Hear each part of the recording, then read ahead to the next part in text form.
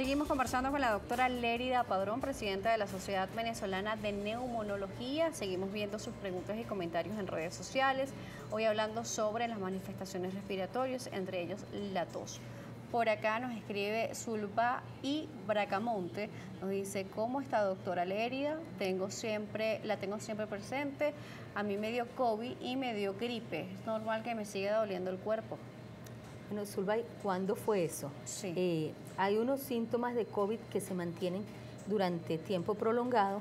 Cuando estos síntomas se mantienen de, más allá de los tres meses, después de haber superado la enfermedad, recordemos que estamos hablando del COVID prolongado, que eh, tiene una cantidad de síntomas, son síntomas que pueden permanecer en el tiempo y que no tienen explicación por otra causa. Es importante aclarar eso porque todos se lo queremos también decir, esto es por COVID, hay que buscar una causa diferente. Si no se consigue esa causa, entonces se plantea en un síndrome post-COVID. Eso puede ocurrir. Por supuesto. Además, usted nos decía incluso eh, comenzando que hay como mucha información circulando en redes sociales y nos decía que muchas son ciertas y otras son falsas. ¿Nos pudiera ayudar a aclarar cuáles son? Claro, fíjate, es importante, Daniela, porque eh, es bien cierto que las redes sociales han jugado un papel importantísimo en los últimos años, de información, pero también de desinformación o información inadecuada. Por ejemplo, me preguntaron muchísimo, me llegaron muchas cadenas, esa cepa XBB que estaba circulando, que es grave, que no tiene casi síntomas respiratorios superiores y que ya te da una neumonía y te hospitaliza. Eso no es cierto. Eh, esa subvariante XBB estuvo predominantemente eh, a nivel mundial a principios del año pasado. En marzo del 2023, la OMS la decretó como una variante de preocupación. Pero de preocupación es, como he comentado antes, es que, ojo, le tengo que prestar atención y ver hacia dónde va.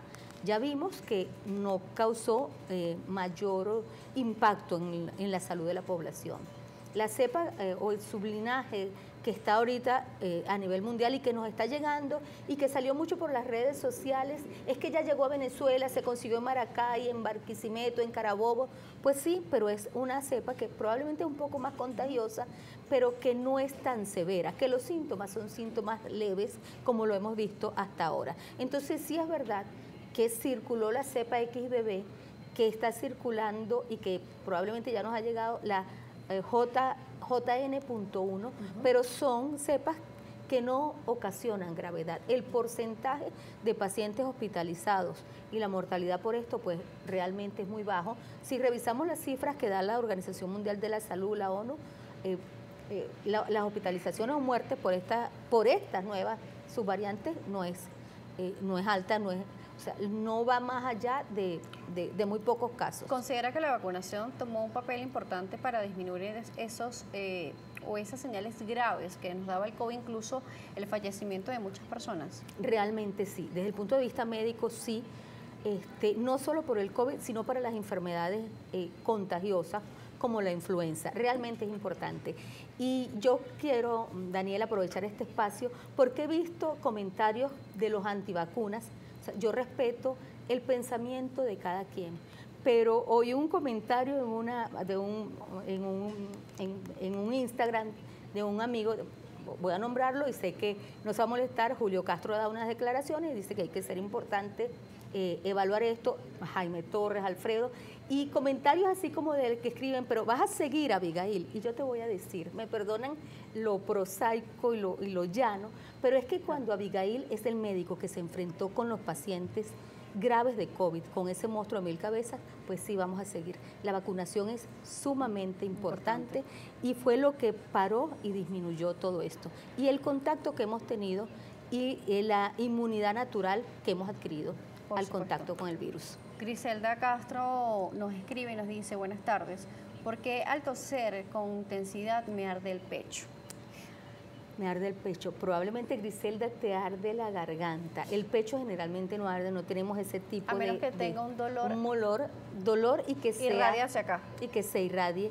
O que probablemente haya, al toser, el diafragma se contrae, eso puede hacer que tengas un poco de reflujo y haya ardor retroesternal, porque haya reflujo gastroesofágico y nuestro esófago no está preparado para el ácido del estómago. Esa pudiese ser una causa. Hay que averiguarlo. Bueno, justamente, bueno, se nos terminó el tiempo, pero queremos que ofrezca las vías de contacto, doctora. Bueno, eh, yo estoy en la Clínica Santa Sofía, allí estoy todos los días, de lunes a viernes, eh, a través de arroba eh, vamos a pasar información y seguimos, seguiremos con, con Instagram Live y a través de mi Instagram personal, arroba Lerida Padrón, estamos a la disposición.